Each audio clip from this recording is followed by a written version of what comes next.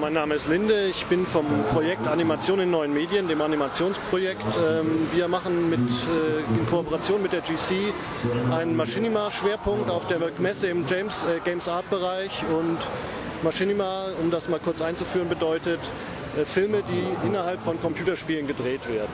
Es gibt einmal die Möglichkeit, verschiedene Rechner wie in einem Multiplayer-Spiel zusammenzuschließen in einem lokalen Netzwerk. Jeder der Spieler in diesem äh, Multiplayer-Spiel ist dann einer der Schauspieler und einer macht Regie und Kameramann und dessen Bildschirm wird quasi als die Ausgabe des Films genommen.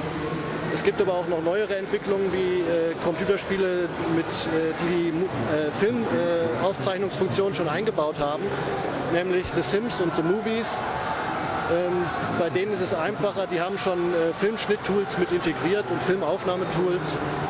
Und dann gibt es natürlich noch Leute, die äh, einfach äh, die Ausgabe von irgendwelchen Computerspielen mitschneiden und daraus äh, Filme machen. Im Spezialfall sind noch Live-Machinimas, wo wirklich vor Live-Publikum äh, so ein Multiplayer-Spiel genommen wird und dort äh, werden dann verschiedene Schauspieler äh, die auch live sprechen, ihre Rollen vor Live-Publikum dann auf dem Bildschirm projiziert und das ist dann sozusagen die zeitnahste Form von Machinima, die es bis jetzt gibt. Durchschnittlich gesehen, wie lange dauert ein Machinima und was für Themenbereiche werden abgedeckt?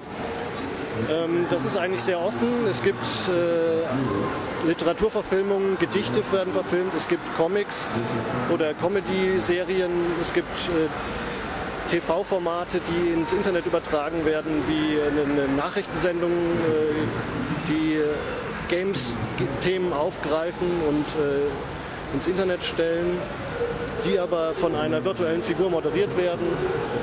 Und äh, ja, die, die Formenvielfalt ist unglaublich. Es gibt sehr viele Musikvideos, es gibt Tanzvideos. Äh, man kann eigentlich auch keine Zeiten, Längen vorgeben. Es gibt bis zu 15 Minuten lange Filme und es gibt ganz kurze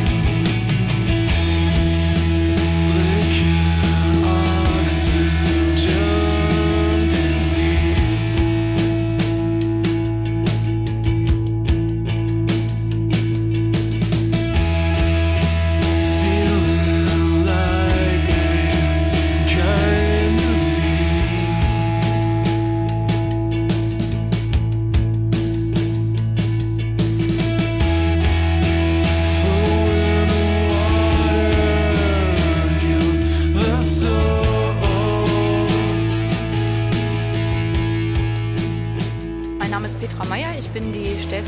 Vorsitzende der Bundesprüfstelle für jugendgefährdende Medien.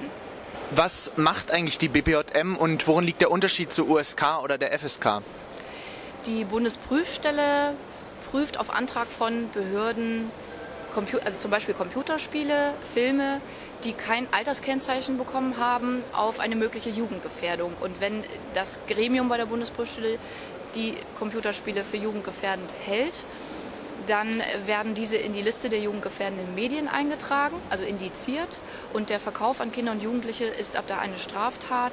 Es gilt ein Werbeverbot und die Spiele, Filme, andere Medien müssen dann unter die Ladentheke.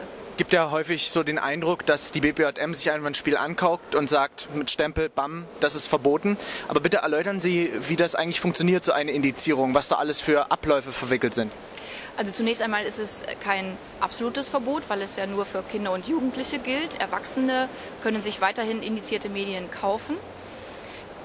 Ich wollte noch kurz auf den Unterschied zur USK eingehen. Äh, die USK ist zuständig, Computerspiele zu, mit Alterskennzeichen zu versehen im Auftrag der Bundesländer.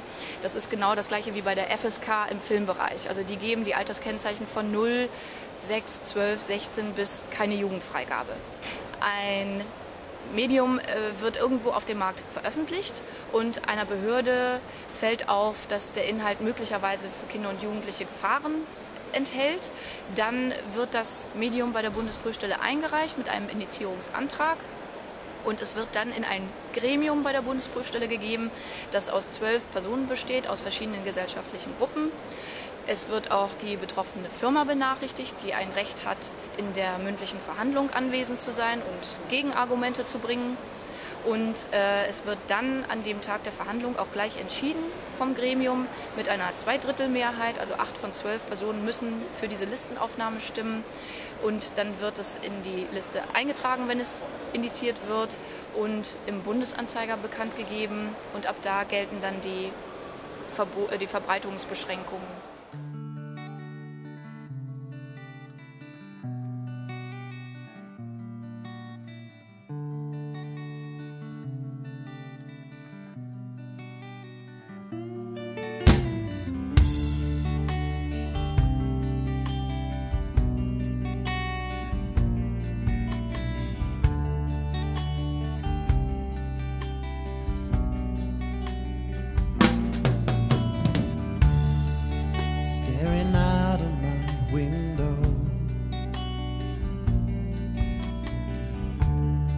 Watching the cars go rolling by.